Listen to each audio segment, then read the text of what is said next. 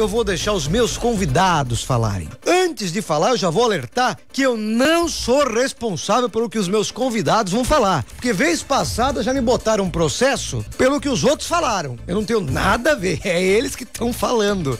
Porque o primeiro já é polêmico, o deputado Gessé Lopes. E eu já vou dizer que é deputado, porque daí, se processarem, já sabe que tem inviolabilidade. Bom dia, deputado. Bom dia, bom dia a todos os ouvintes, bom dia, William. É sempre uma satisfação é, conversar com um amigo. Hoje, uma insatisfação, né, para falar é. desse energúmeno aí. É verdade. Você que é defensor do tiro, você que é defensor dos catarinenses, né? O que, que você me diz de uma postagem como essa que o Jean Willis do PT fez, ô deputado? Então, sabe que esse cara que se diz professor de história, ele é um energúmeno. Quando eu falo que é energúmeno, ele é tapado por uma ideologia. Então, tudo, tudo que está acima da, da verdade, tudo, toda a ideologia dele está acima da verdade e da razão. Porque se ele soubesse um pouco de história, ele ia saber que o nazismo, uma das primeiras ações do nazismo foi desarmar a população. Então, o nazismo era contra a, o armamento civil. Então, esse cara aí, ele representa, assim, representa uma merda, ele representa uma grande bosta da sociedade.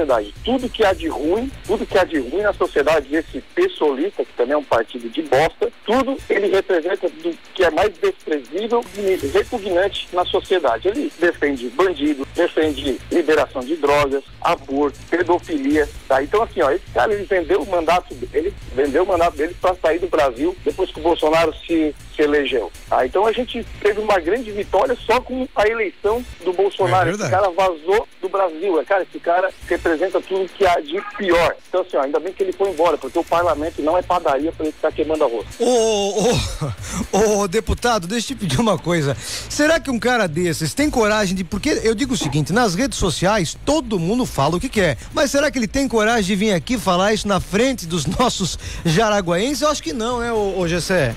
Esse cara é um cara sem coragem, é um cara covarde. Nem no Brasil tá pra ficar fazendo esse tipo de comentário. Ele saiu do Brasil exatamente porque o Bolsonaro ganhou. Então, um cara desse não é um cara com coragem, né, com convicção. Que deveria estar aqui agora para defender essas merdas que ele defende. E não teve coragem, porque sabia que ia apanhar o tempo inteiro. Né? Infelizmente, a gente tem que ainda lidar com isso, é, um cara que está fora do Brasil, é, tentando lacrar, como você falou, com essa, tipo, esse tipo de bobagem. Então, só falou bobagem, como sempre, além de defender as porcarias que defende. Muito bem, deputado, obrigado pelo seu posicionamento, um forte abraço.